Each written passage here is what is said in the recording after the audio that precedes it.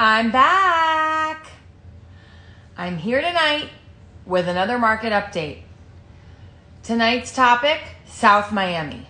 I'm going to talk about the South Miami single family home market.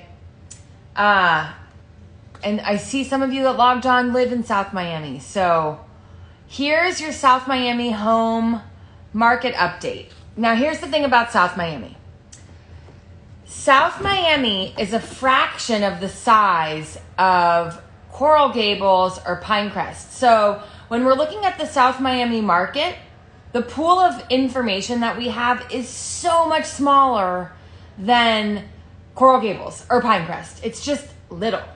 And then to make it even more complicated, South Miami, okay, South Miami runs from Dante Fascell Park on the south all the way up to even some houses up to Bird Road on the north. So it crosses US 1, goes up to Bird Road. Everything um, west of Red Road, basically all the way over to the train tracks, if you can think of what I mean.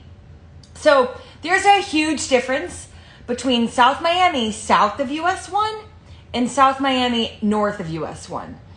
So I'm breaking it down in those two ways tonight. I'm going to talk to you about what's happening, and you're going to freak out when I tell you what's happening. South of US 1 in South Miami versus north of US 1 in South Miami. So let's start with South. I'm talking about homes in the city of South Miami, south of US 1, for the next couple minutes. There are a total of eight homes on the market. Um, they range in price from 1.6 million to 7.5 million. Two of the eight are listed for the land. So that's the 1.6 and the other one is like 2.25 million that are basically selling for land value. The other six are two resales and four new construction houses. All right. So those range in price from 3.2 million all the way up to seven and a half million dollars. So if you realize there's nothing on the market south of US 1 in South Miami under a million. And hold on because it gets better. There are three homes in that neighborhood that are pending sale. Um, one of which was listed for $1.1 million and it went under contract in three days. Because when you see that price in South Miami, you scoop it up and it got scooped. And then we've had 25 closed sales in that neighborhood so far this year. Uh, they ranged in price from ready 1.15 million up to 5.18 million.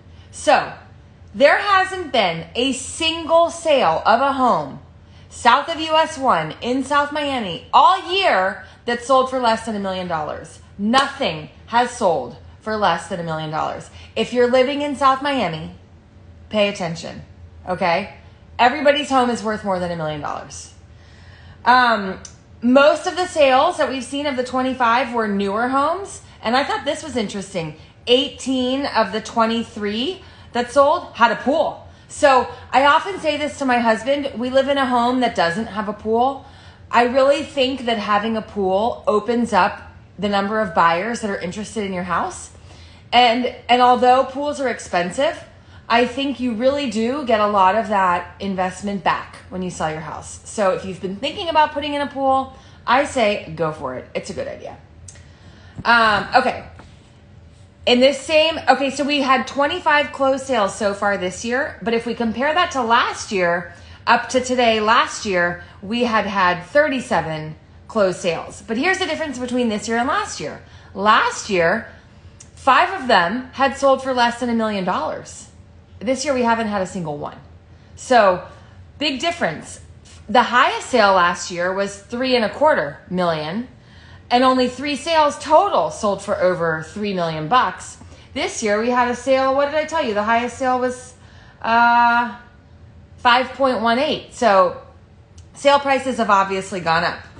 Um, prices went from last year. Look, I'm looking at all the sales from last year from January to October 11th and comparing it to this year from January to October 11th. The average price per square foot last year, $545. The average price per square foot this year, 829. That's like that's a 52% increase in the average price per square foot year over year. I mean, that is huge.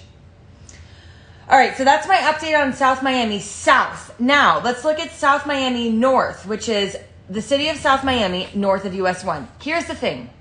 When you look at the city of South Miami homes north of US 1, we have a huge range in what's out there. And I guess I could say that for a lot of markets. Like, we have homes that are little two bedroom, one bath homes. Um, well, that you'll see like there was a there's a pending sale right now that was listed for two hundred and thirty five thousand dollars.